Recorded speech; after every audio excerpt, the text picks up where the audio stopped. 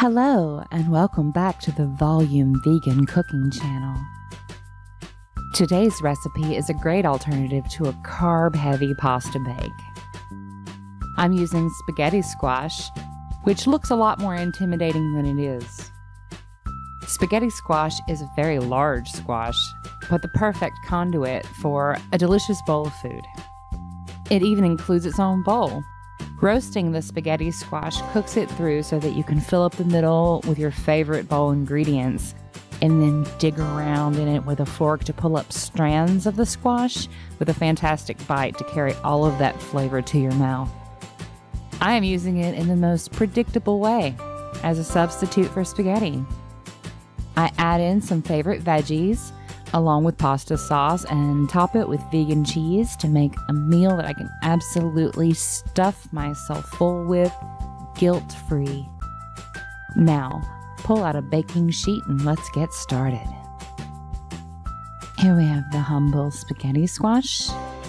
It's actually a little bit smaller than the ones that I normally get on this this was purchased on a pickup order and unfortunately they didn't they weren't very generous with what they picked for me basically I just take the top off and then cut it right down the middle.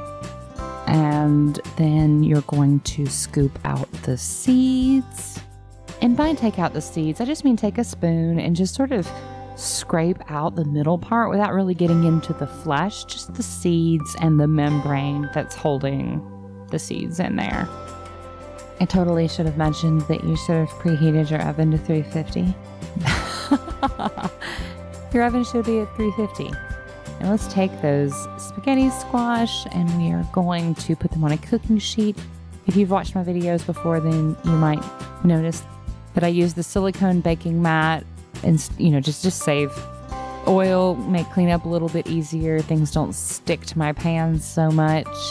And then I take a brush, like a basting brush, and I brush it around. There's a lot of moisture, of course, to the spaghetti squash. So it just sort of using the moisture and the oil combined to spread it around the bowl of the spaghetti squash, but also around the top, around that rim.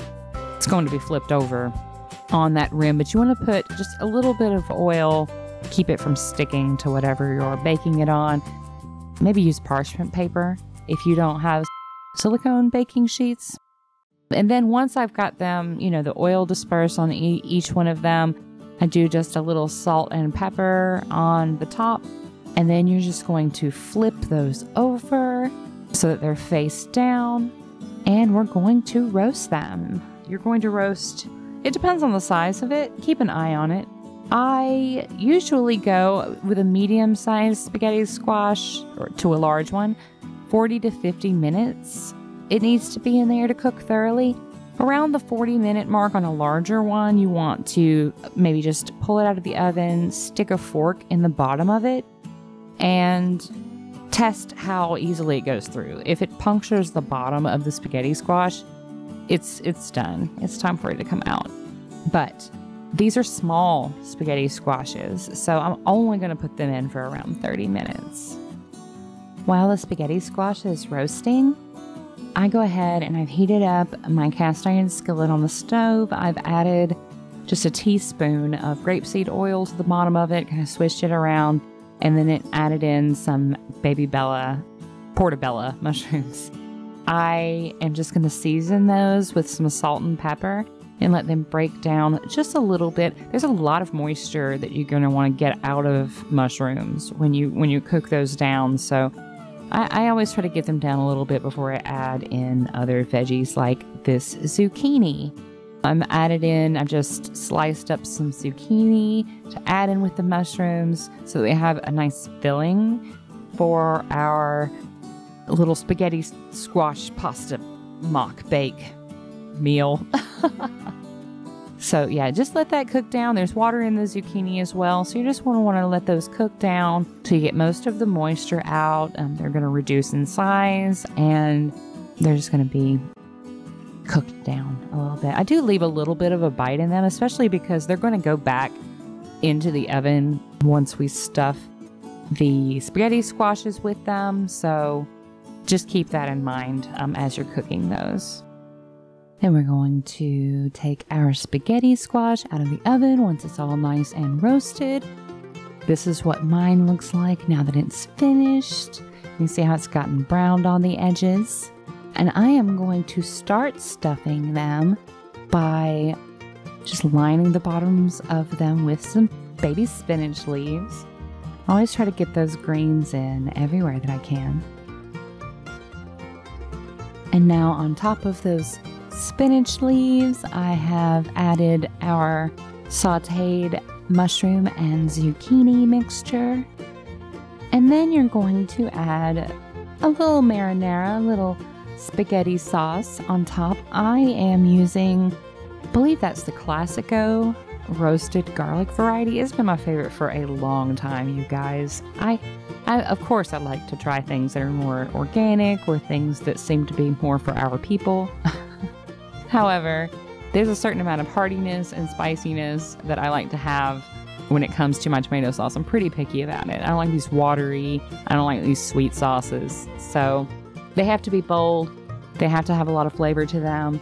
When I was younger, I used to buy the Ragús or whatever, and then I would spice them up myself. Spend a lot of time adding herbs to it to try to make it something more like I was raised on. And I'm going to tell you something. I'm not. I'm not of, of Italian heritage, you feel me? I'm not of Italian descent.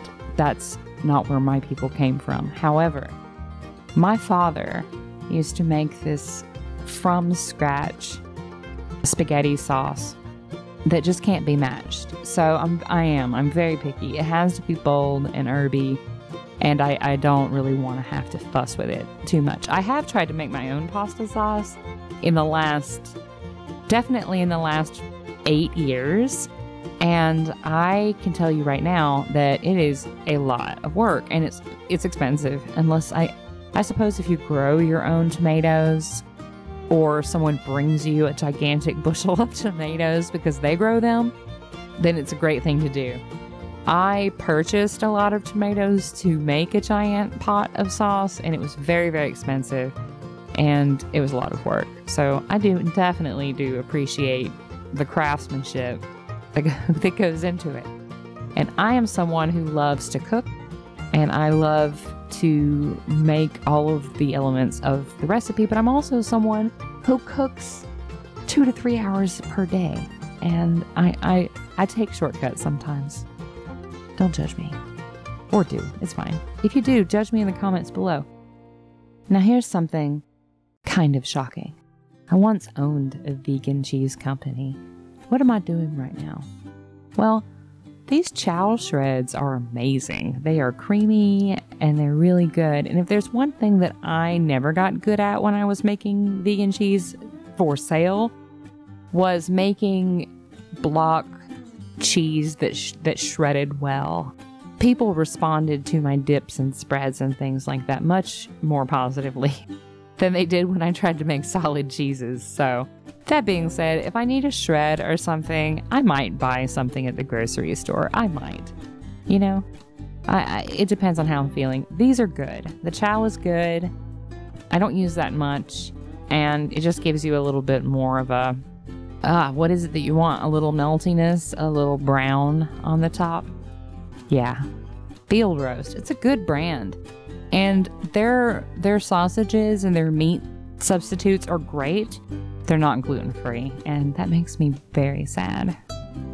And here you can see I have just you know, added some shreds to the tops of our stuffed spaghetti squash, and they are ready to go into the broiler. We are going to melt this cheese and brown this cheese on top of this dish before we enjoy it. And here are our freshly broiled spaghetti squash uh, pasta bakes. Now, I'm not going to lie to you. I had to make this meal in stages on this day. I had to work, so I, I, made part of it in the morning and then put it all the stuff in the refrigerator, the mushrooms and the spaghetti squashes and, and everything into the refrigerator, and then came back to stuff it all and broil it later on. What I didn't do was reheat the ingredients before putting it in under the broiler. So the cheese shreds are not as melted as I would like for them to be here. Before I enjoy my spaghetti squash, I am going to just stick it in the microwave. If you're wondering why the volume of the fillings didn't go down in the stove, which they would because the spinach will cook down as it's as it's heated, of course, and everything will kind of sink in a little bit. It just didn't get that hot in there. I was kind of surprised. I expected it to, being this, you know, really hot broiler, and I left it in for quite a few minutes, but did not get very hot inside, so I definitely had to heat it up a little bit before consuming it. So I'm using a second vegan cheese. This is the Follow Your Heart dairy free cheese, Parmesan style. When I was a kid, as much as I was into my father's pasta sauce, I was obsessed with that dehydrated Kraft Parmesan cheese that you could get on the pasta aisle. It's not refrigerated.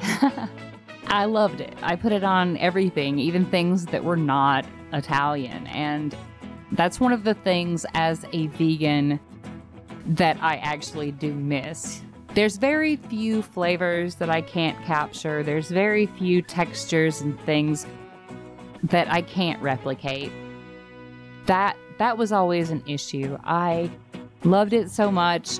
And while I had my vegan cheese company, I I did develop a a blend of nutritional yeast with sea salt and almonds that were processed together. It was it was really delicious, but it was not it was not close to the the parmesan cheese that I remember as a child. It was just a good substitute. At some point, I just stopped even trying to substitute it. I think I just, I would just shake on some nutritional yeast, I guess, until you know, just get that sense of that being there. There's a shred that I can't remember the name of. It's really, really good. This, though, is it's very close. It's very close to the dehydrated Kraft Parmesan cheese. It doesn't have the same texture. It's a little waxy because it's clearly a vegan cheese that's been obliterated to the point that it's just these teeny tiny little pieces that they've managed to keep separated. It's and it needs to be refrigerated, but it is it's very good. It's very good. I like it a lot. I just discovered it in the last few weeks. My local Kroger started stocking it and it's very very good. I highly recommend it. Just a little sprinkle or just a, you know, a few teaspoons on top of something really adds something special. And then here is my dish. I put it in this little shallow rectangle bowl because it's it's messy. You can't just hold the spaghetti squash and eat out of it. It's it's going to fall apart. The bottom is, is you know, you can stick a fork through it, so it's not it's not a very stable eating apparatus, the spaghetti squash, but it's also, you know, kind of an awkward shape to put on a plate. You'll just kind of it'll slip around on the plate. So you kind of want to put it in some kind of bowl and my other bowls are too small. Can't fit it in there. So I have these, works perfect, and I have taken my finished spaghetti squash and I have covered it in green onions, as I do, some fresh basil from my, my windowsill, and some of that vegan Parmesan cheese that I just showed you. Last but not least, I know this isn't an eating channel. I'm definitely not going to eat it on camera, but I wanted to show you me kind of digging some of the spaghetti squash strands out of the side of the pasta bake so that you can see what it looks like.